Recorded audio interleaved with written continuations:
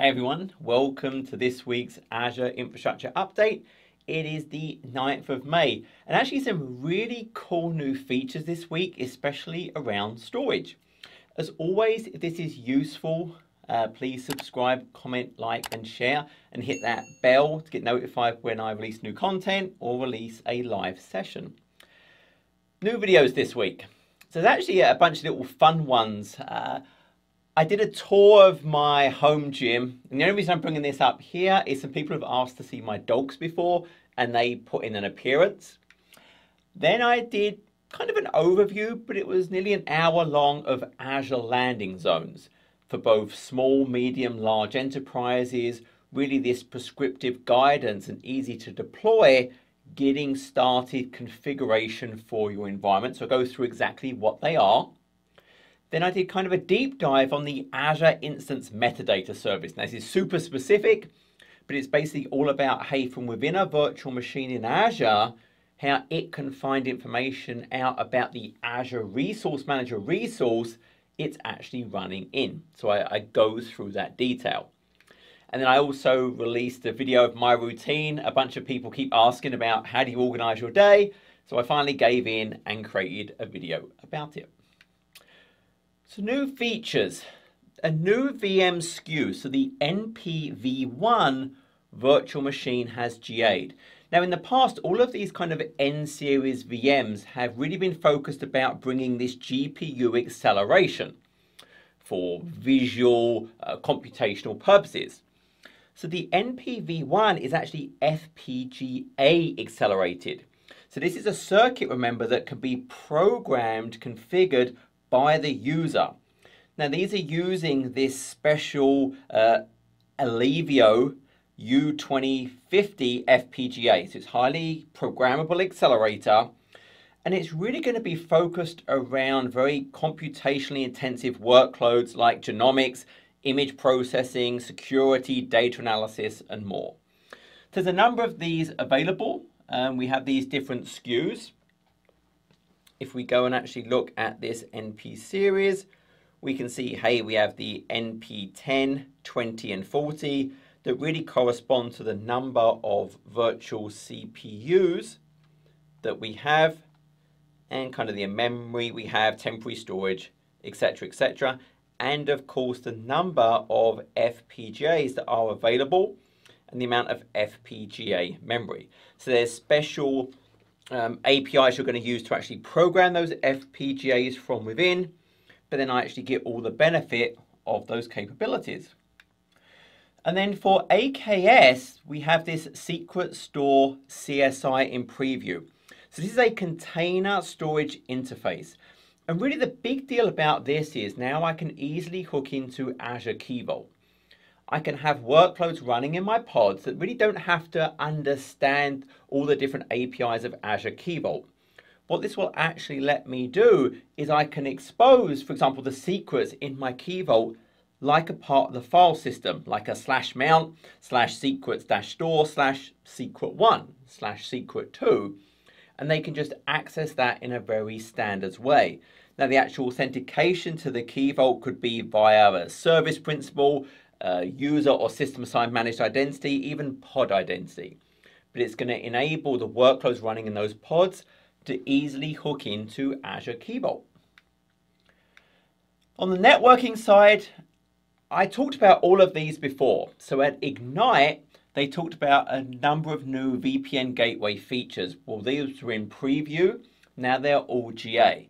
So a big one here was about multiple authentication types for the point to site VPN. This would now allow me for the OpenVPN to have different types of client. I could have Linux, I could have Windows, because now I can mix on the single gateway different tunnel types. I could have Azure AD, certificate-based, Radius, all on the same gateway.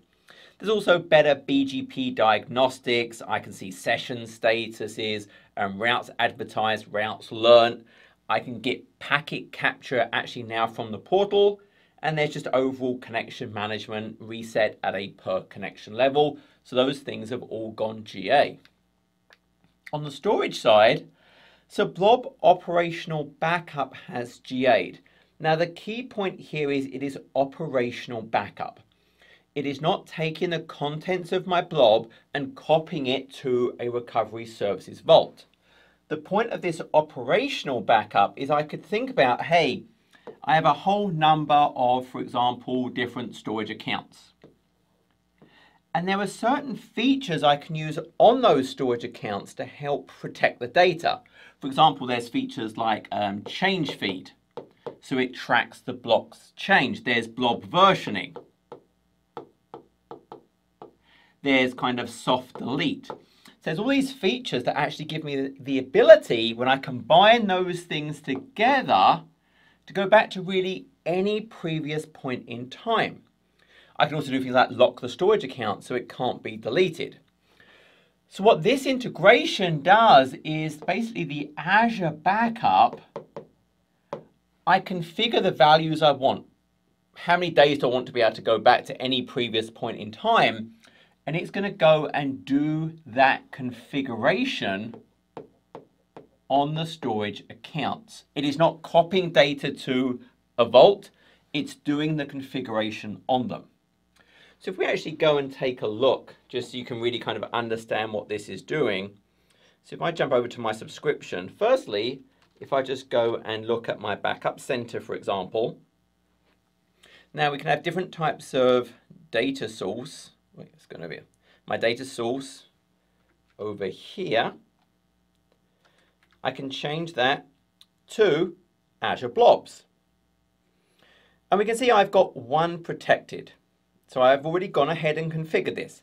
So on this particular storage account, I've gone and configured, you can see my protection is configured. And all we're really doing here, I could say, hey, change policy, is I've got it currently set to 14 days. So I'm going to retain the data for 14 days.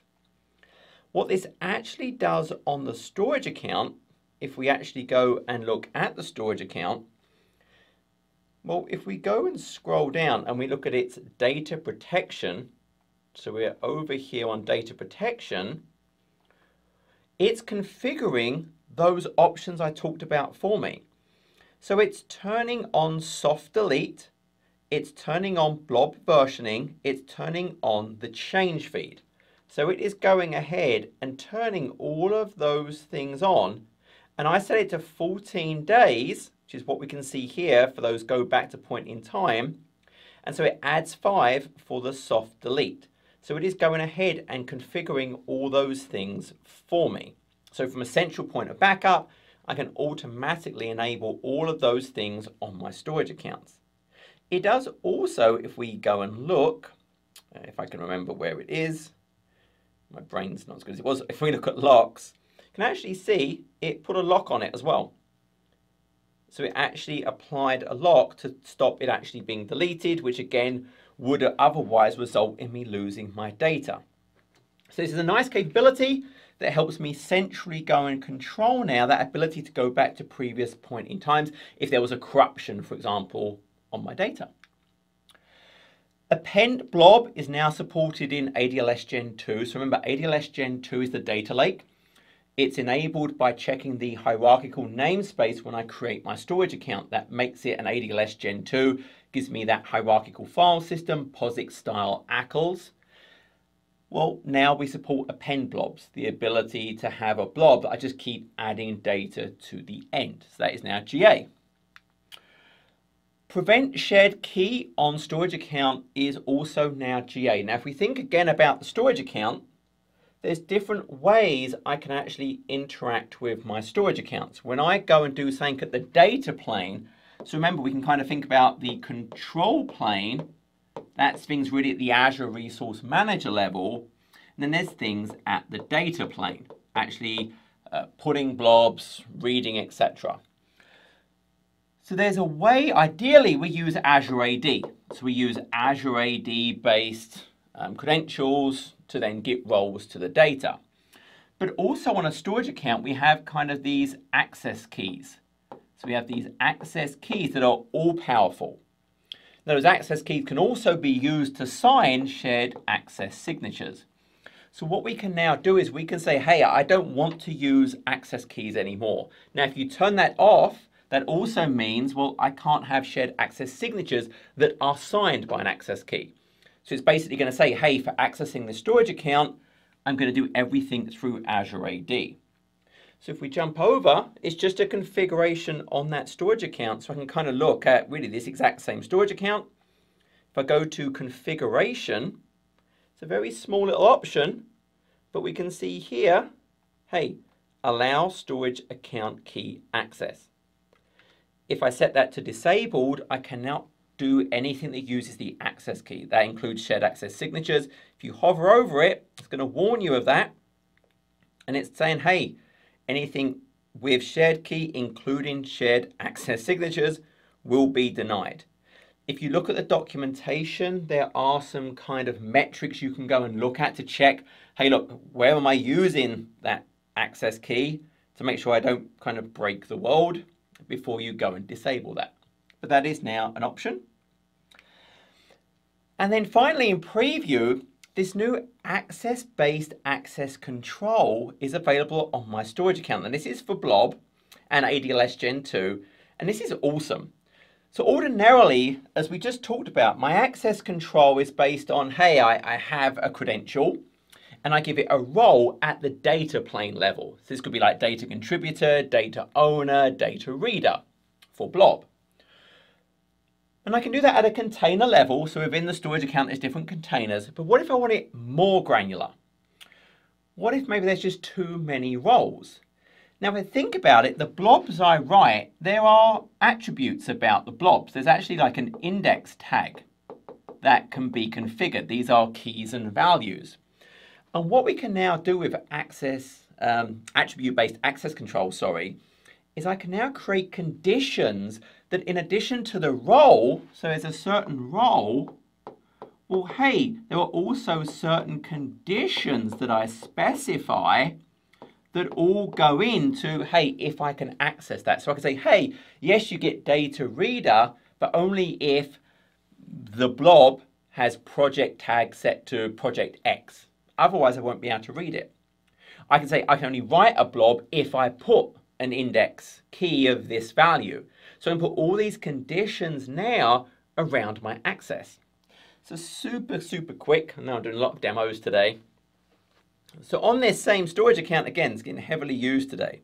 If I go to my access control, and let's say I go to my role assignments, remember there are roles that are associated to the data plane. Now I could create a custom role, but there are things like the storage blob data contributor, storage blob data reader.